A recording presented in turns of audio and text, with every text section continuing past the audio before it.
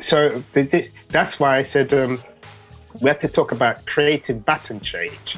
The, you know, where people are trained, uh, mentored directly or indirectly. Wow. And um, one thing that um, Jimmy Jam and Terry Lewis and Freddie Hammond, they're not scared of bringing in people in to watch them, you know, because they're interested in to expand. Affinity Xtra, be extra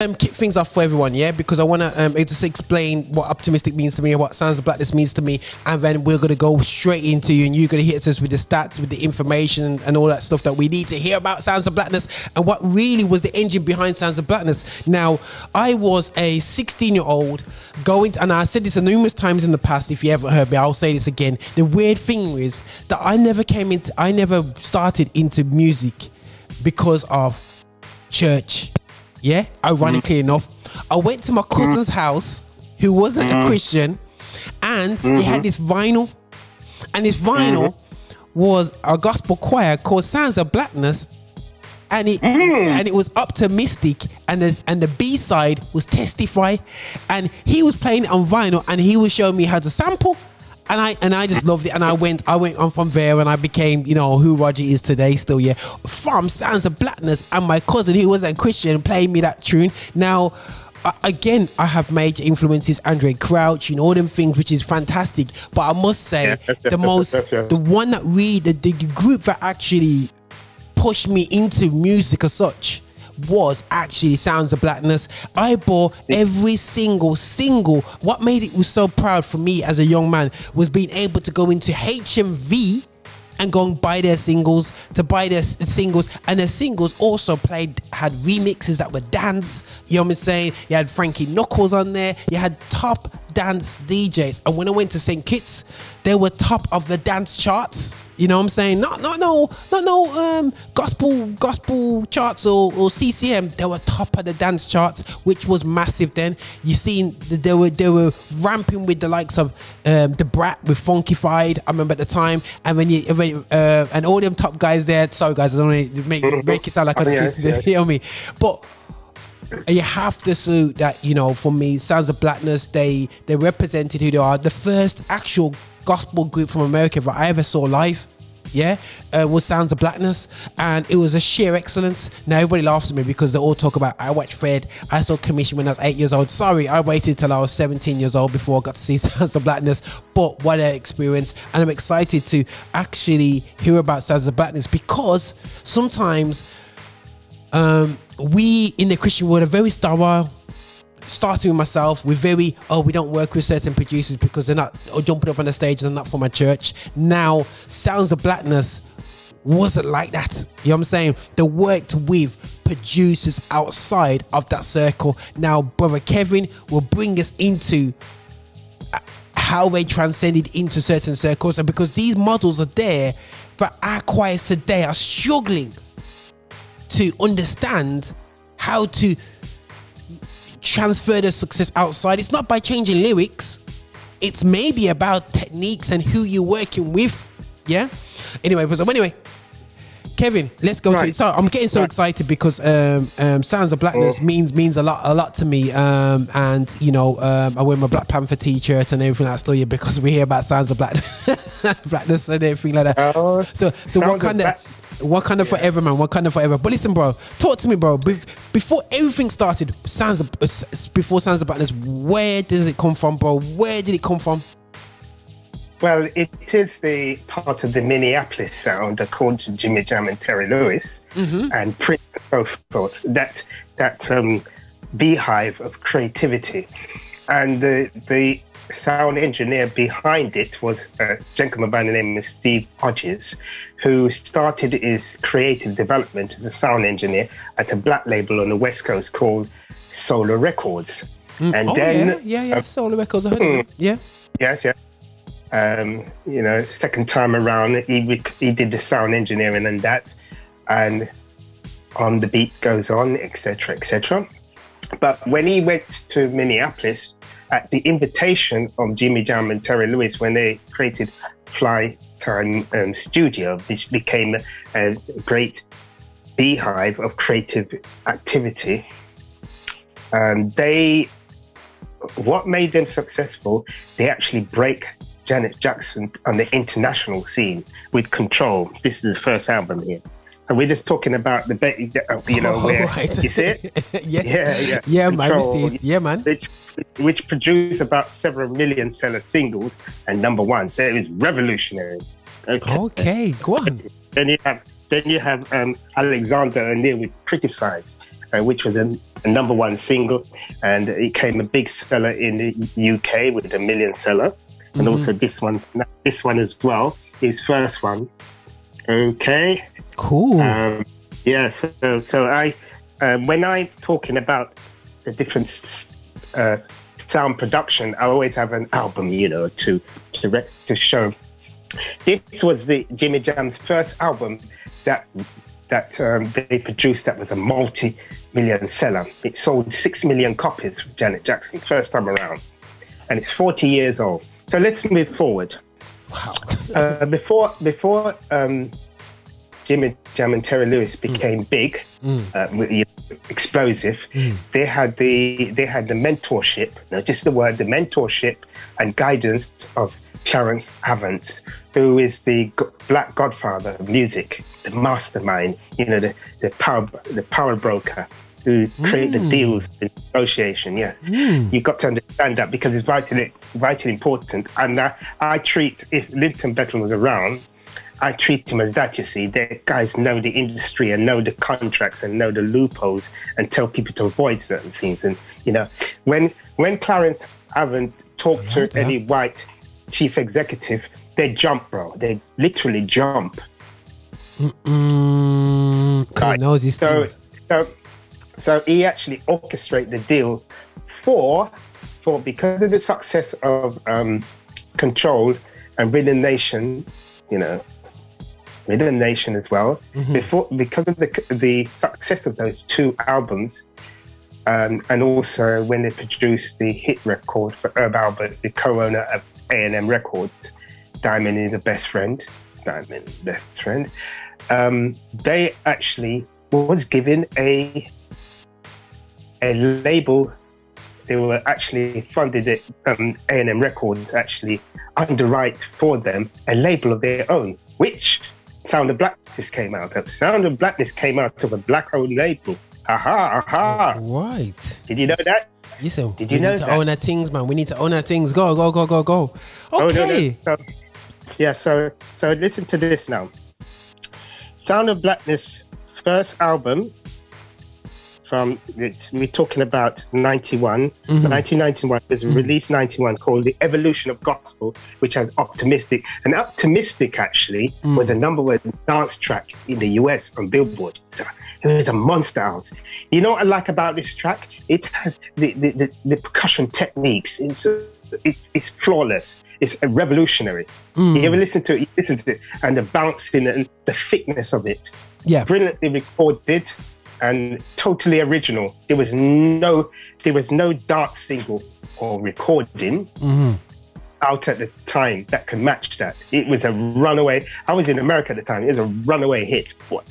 Serious. Runaway. Serious. And, uh, and uh, the the group actually received about three Grammys during the you know the, and also um, Sound of Blackness as a, a music um, music um, en- ensemble or group rather.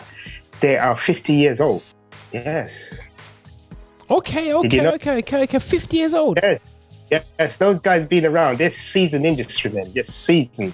Imes and yeah, 50 years old. And it took J- Jimmy and Jam. Actually, they're one of Jimmy Jam's most favorite groups with Optimistic. What a powerful track, you know, talking about struggle and that. Yeah, yeah, yeah. Yeah, yeah. yeah. Yes. It- it- it- Yes. it- correct me if I'm wrong, um, um, Kevin. Would you say that it almost encompassed?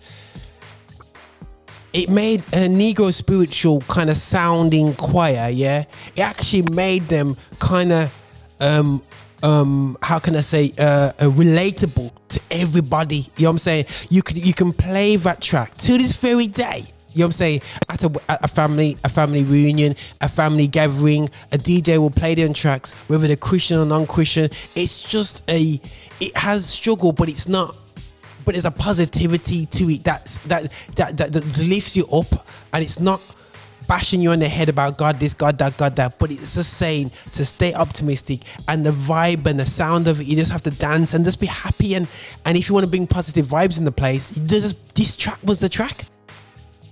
Well, okay, if we look at, as far back as the 70s with New York Gospel Community Choir, they did the same thing.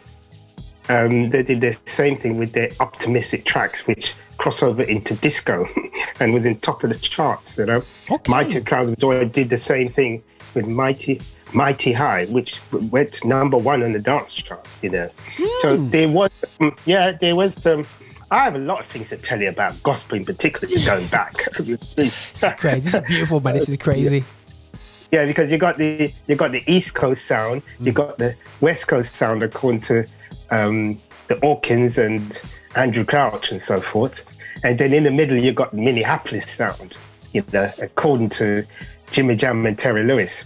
Wow. And matter of fact, don't forget, Jimmy Jam and Terry Lewis also produced a platinum album for Yolanda Adams as well. Platinum gospel album. Yeah. Is that right? Yeah. Yolanda Adams.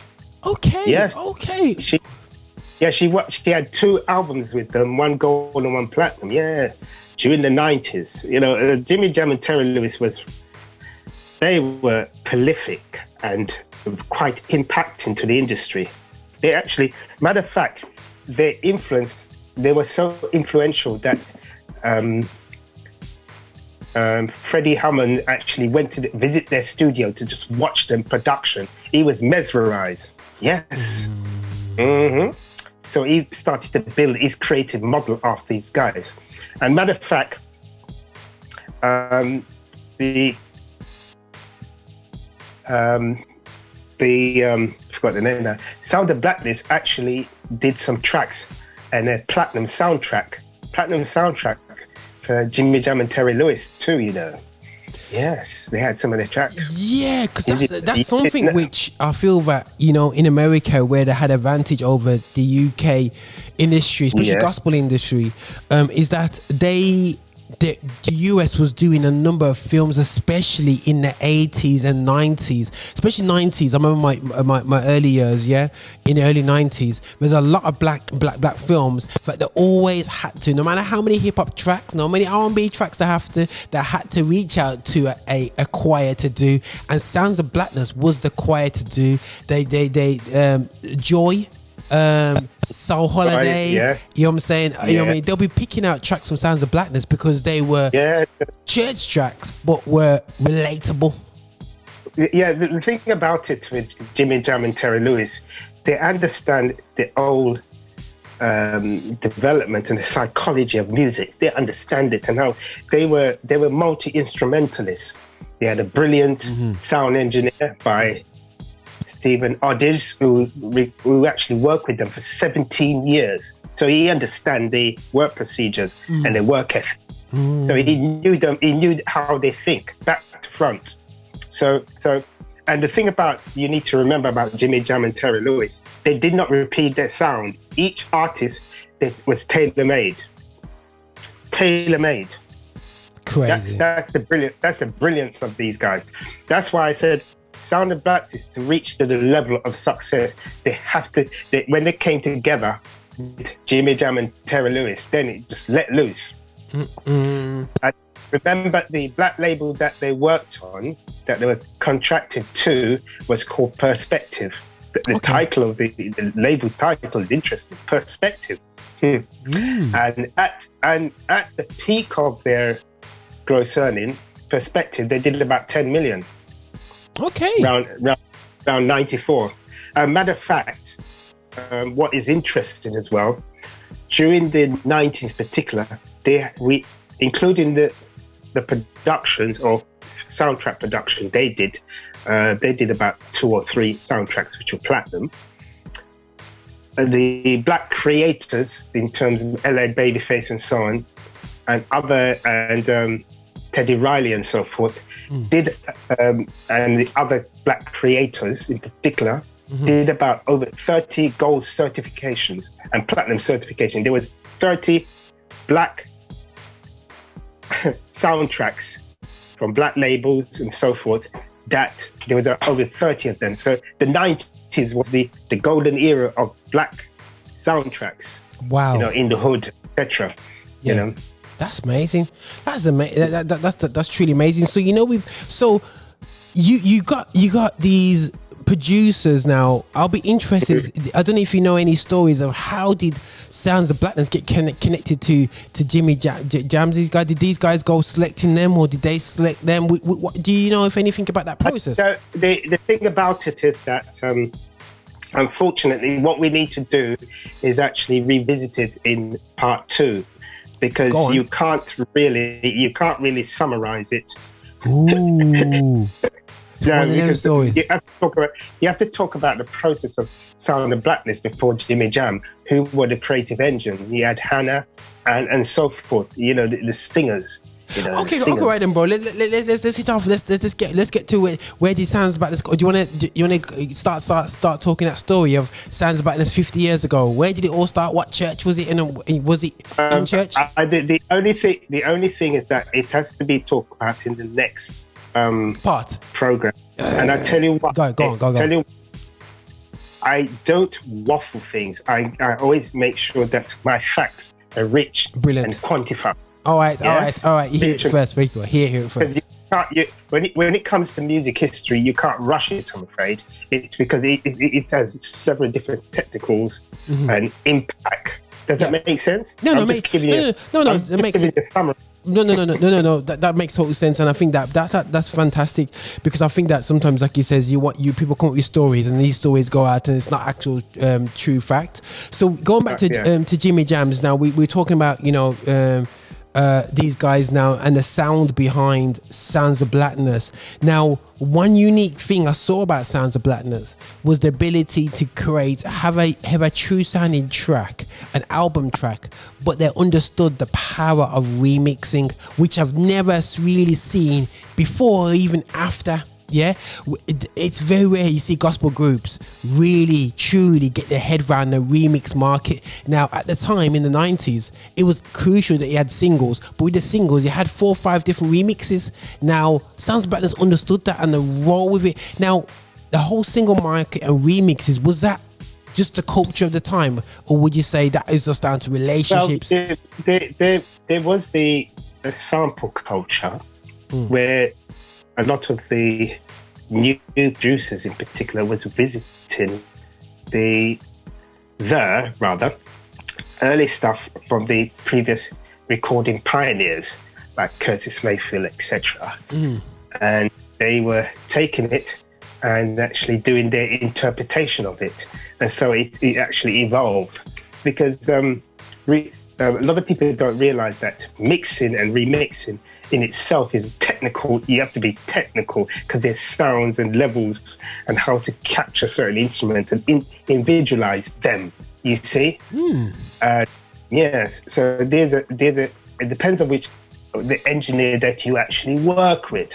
Now, as I said before, Steve Rogers was one of the top uh, top five best sound engineers in the country. Mm. You know? Mm. So, so, so, they was able to, to work with some. So you know, Steve Rogers would he work with all the single, all the single mixes and remixes? Quite, quite, possibly, yes, it's quite possible because, and sometime Jimmy Jam might bring in some of his other key brethren from time, time. You know, Prince yeah. group, you know, former Prince group. So remember, it's a collection of musicians from Minneapolis and so on that they work with there was a core musicians, just like Philly had a core musician yes, that was part yeah. of the fraternity. It. Also, Minneapolis had some core musician that was part of the Minneapolis sound. You mentioned yeah. Prince there, bro, because it's the first time you mentioned Prince. So Prince is a Minneapolis um, artist coming through rank, ranks, and he is a, well, right. not only artist, he's a musician yeah, as well. He, yeah, he's one of the originator. And matter of fact, um, before Jimmy Jam and Terry Lewis, actually went out on their own, they were actually sacked, so to speak, by Prince. so Prince let them, let them go. wow. That they, um, matter of fact, their first um, production, major production, with the, with the SOS band. Yeah, during the eighties. Okay. Yeah. I, I, I- me personally, I wasn't really a Prince fan, but Prince seems to have a massive fan base um, out there, and I, I didn't realize how big he was, and, and you know what I mean, how how big he is. Well, well, um, you've got to understand that Prince was a multi instrumentalist. Um, he he played the bass much better than his bass player. He was at that level. wow.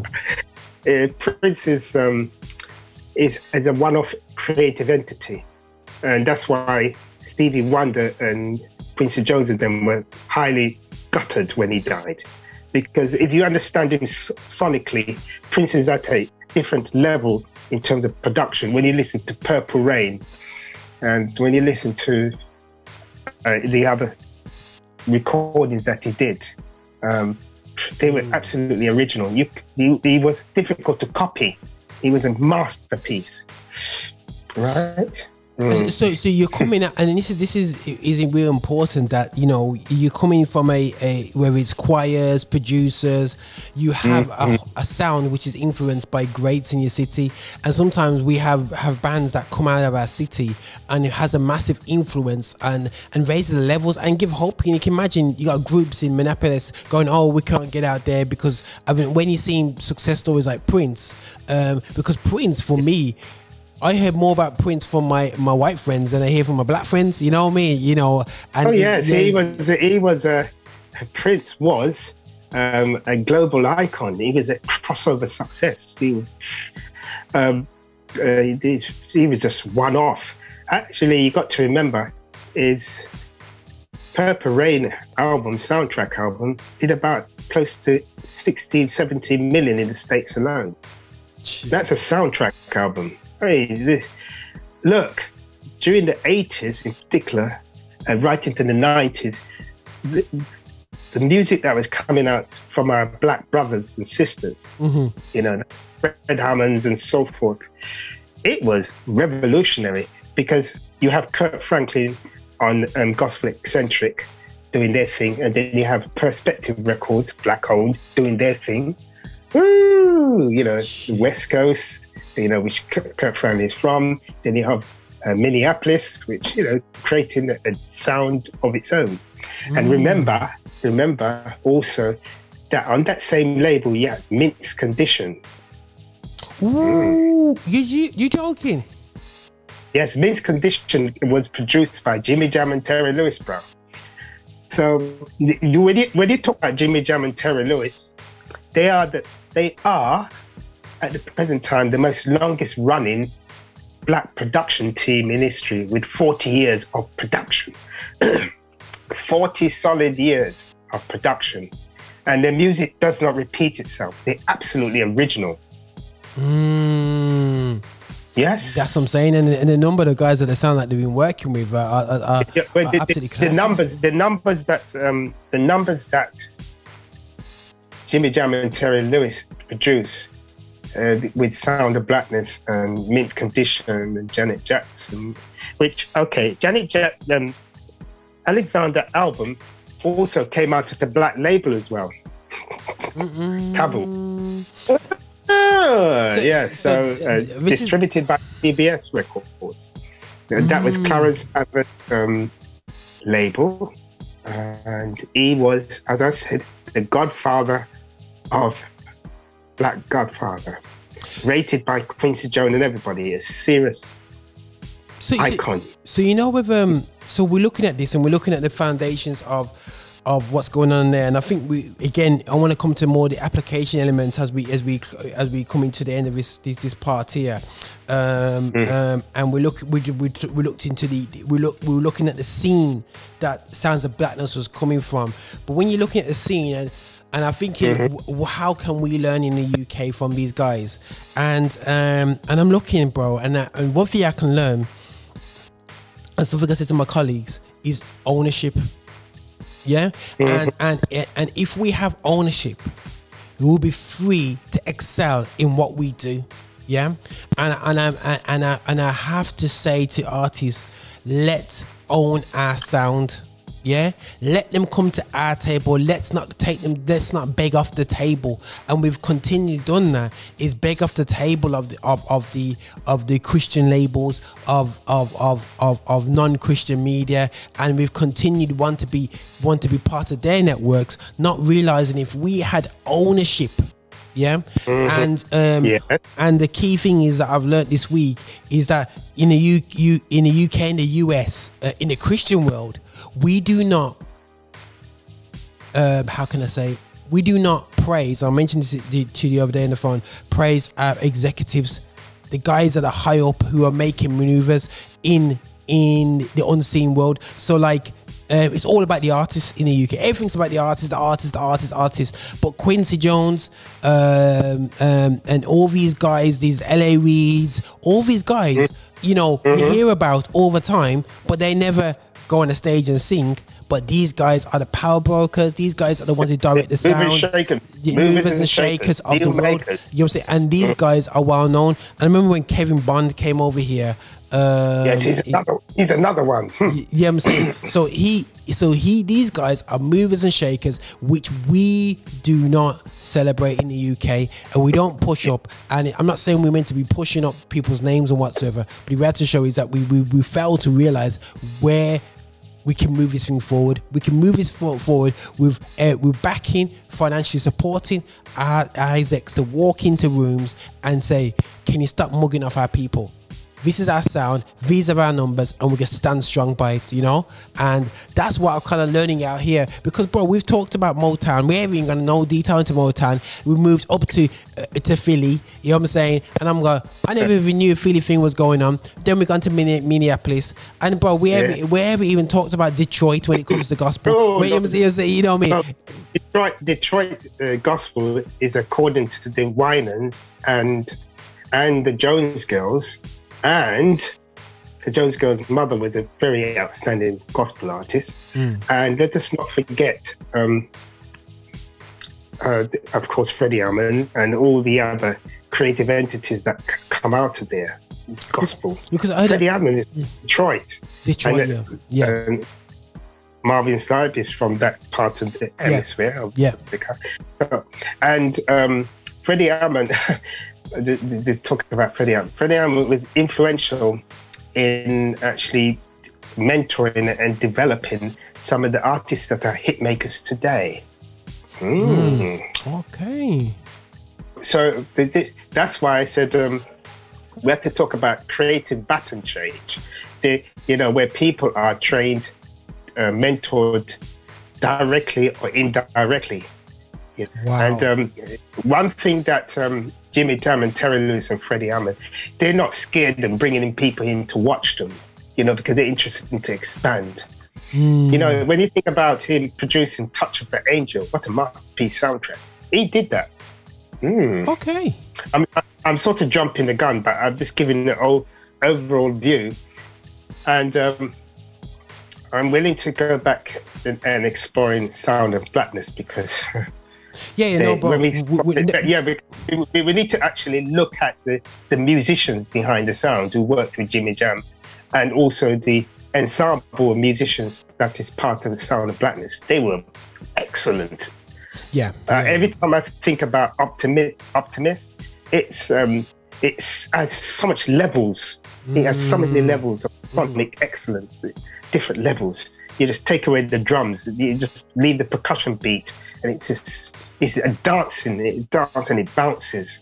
No, no, hundred percent, bro, bro. It, it, it was an absolute powerhouse of a track, and and Yes. and and and and and and, y- and I must admit, um, you had things like um, I remember a track. I'm just gonna try and find this up now. Uh, The track is called um, Pressure. I'm sure it's Pressure Part One, Part Two. Um, I can't remember which one was that. Was the hype on? It was Pressure Part Two. Yes. Those singles. Uh, I think both of the both of those singles sold in excess of uh, probably six to seven hundred thousand, or maybe more. Actually, they were quite big uh, sellers, runaway hits, and um, yeah, and they just total revolutionary. uh, it's, uh, Bro, massive it goes things. on forever. It Yeah, goes yeah, on yeah. forever. No, no, no. I'm, That, I am I am sorry that I didn't get a chance to go into detail. I wasn't too well, but I can get um, I can get all. Uh, I think what we need to concentrate, if we do revisit it, is to look at the musician behind the sound. You know, you know. Mm, no, no, we're gonna re- we- we're gonna revisit it. So, so we look at the music, mu- the music, musicality of it still. Yeah. So I'm gonna, bro, I'm gonna like I That's like I said, you know, bro, really appreciate the time and, and really just giving us a um a and this is what I'm saying. Success is not born from just an artist, somebody getting out of the bed and just uh, just rolling through the bed and just coming with a hit and that's it. And we so in the UK think that success happens within 24 months. Success can take 10 years to get there, Yeah. and it's scary to hear success taking that long. It scares me going, God, does it have to? Do I have to? I've been on this for decades, you know what I mean? And is it just success? Uh, You know, if I t- said to my younger self, it'll take decades, would I carry on this journey? But the reality show is the world, the life, everything says that it takes time. You know what I mean? And the Yeah, best things um, take time. Yes, right. Uh, you got to remember the interesting thing about the US Hmm. With some of the artists, some of the executives mentored these musicians from way back and yeah. decided that they want the ushers and so, on to be hit makers. They decided, and so they invest in them and they became powerhouse That's what I'm saying. creative entities. So, um, uh, celebrate them, man. sometimes, as I said, it might look, for instance, you need to remember that Mary J. Blige came out of Uptown Records, which is black label with four, the 411. There's so many black labels during the 90s. It's just incredible.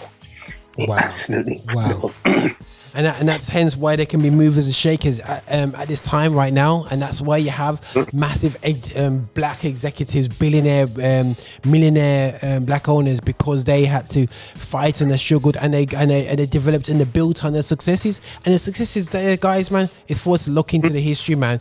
But listen, Yeah. Kev, our time has our time has done.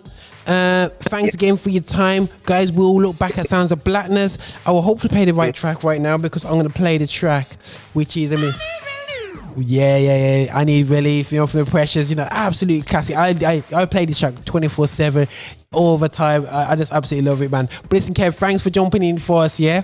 And and listen, Yeah, um, we'll go into yeah, detail of the We're going foundation. Yeah, we're going.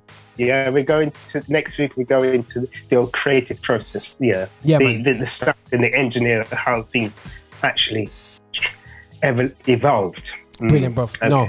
Okay. 100% brother. Thanks again bro and thanks for jumping in through with us today bro. And we're gonna hit this track. And guys make sure Yeah. that you like subscribe whatever you gotta do on youtube when you hear watch this video. And make sure on top of that guys you look at our other videos in the past which is which is it touched so many things from teddy pendergrass. Yes i heard you heard it teddy pendergrass. And we touched a bit about some of the jo- is it jason Poyser Poyser? I keep forgetting his name you know what i mean? Um and James, James Poyser. Poyser, James uh, Poyser. names that you wouldn't realize have been powerhouses in black music over the years from Sheffield. You know what I'm saying? But here's a classic, Yeah. guys.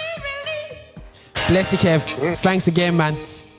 You guys ready for the? love, dr- yeah, Peace man. Peace and love, brother.